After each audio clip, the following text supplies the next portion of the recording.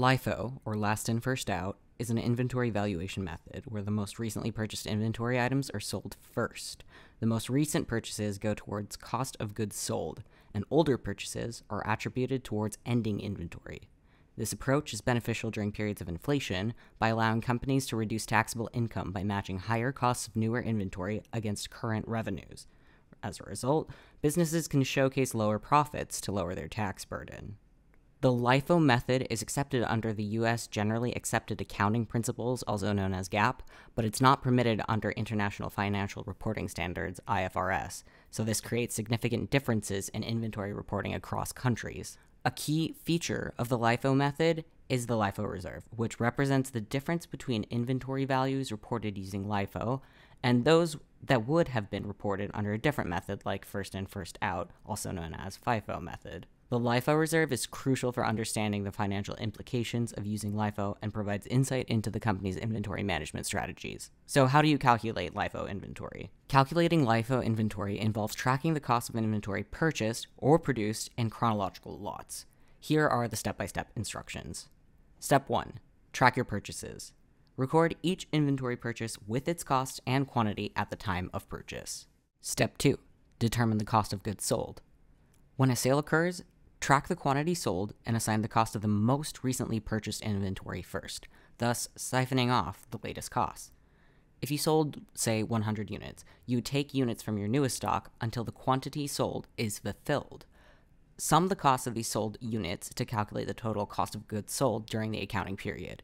This method reflects higher costs in a time of rising prices, as the most recently purchased, and typically higher cost inventory items is accounted for first. Consequently, the remaining inventory values will reflect older, lower costs, impacting asset valuation on the balance sheet. Step 3 Update the ending inventory. Deduct the sold inventory from the most recent lot before moving to earlier layers. In an inflationary environment, using LIFO results in higher cost of goods sold, but also holds less current inventory value and thus a lower taxable income than FIFO inventory valuation, influencing net profits and cash flow. Thus, LIFO valuation is significant in reflecting current market conditions, especially during times of inflation. Let's consider a hypothetical retail company, Widget Co., that sells gadgets. In 2024, Widget Co. made the following inventory purchases. January, they bought 100 units at $10 each, total cost $1,000. In March, they bought 150 units at $12 each, total cost $1,800 and in June, they bought 200 units at $15 each, equaling total cost of $3,000.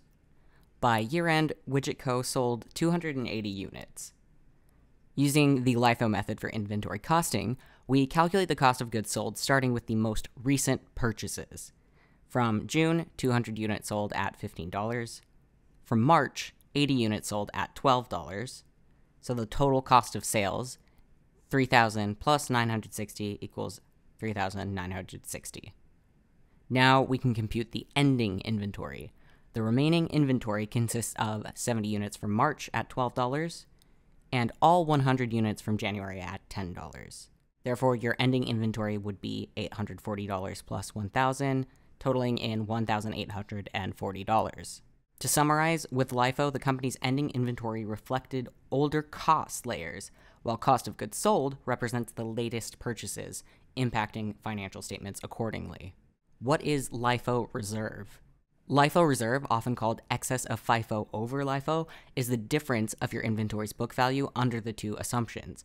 For accounting personalities, the LIFO reserve account is a contra asset account tied to inventory. The balance in the account shows the cumulative effect of switching from the FIFO method to LIFO for financial reporting purposes, going all the way back to when you first adopted LIFO reserve method. Under normal circumstances, like rising prices, the LIFO reserve account will reflect the lower value of inventory under LIFO by having a credit balance. Cost of goods sold reflects the change in the LIFO reserve account from year to year. At times, investors examine your LIFO reserve to see how you stack up against a company using FIFO for tax reporting. What is LIFO liquidation? LIFO liquidation occurs when a company using the LIFO inventory method exhausts its oldest cost layers of inventory. In LIFO, the most recently purchased inventory is sold first at its current cost, leaving older, lower cost inventory on the balance sheet.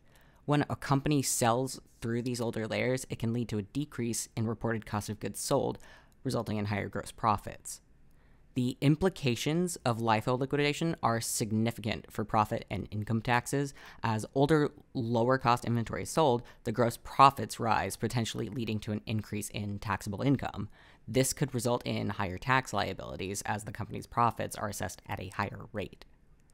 In terms of inventory management, leveraging LIFO versus FIFO can lead to different strategic outcomes.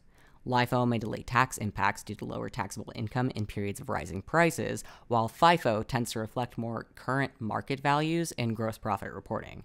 Companies should carefully evaluate their inventory management strategy and consider the long term consequences of relying on LIFO amidst fluctuations in inventory costs. In conclusion, the LIFO inventory accounting method significantly enhances inventory management by providing crucial tax planning benefits and effective financial reporting. During periods of inflation, LIFO allows companies to report lower taxable income since the most recently purchased higher cost inventory is expensed first. This reduction of reported income translates to lower tax liabilities and frees up cash for reinvestment. Moreover, the LIFO reserve, a key component of LIFO, offers businesses insights into inventory costs versus sales prices, this metric allows businesses to assess the gap between the financial statements prepared under LIFO and those under other methods, enabling informed decision making about pricing and inventory strategies. Additionally, LIFO aids in comparability across industry competitors, as using a consistent accounting method allows stakeholders to better evaluate performance relative to others in the same sector.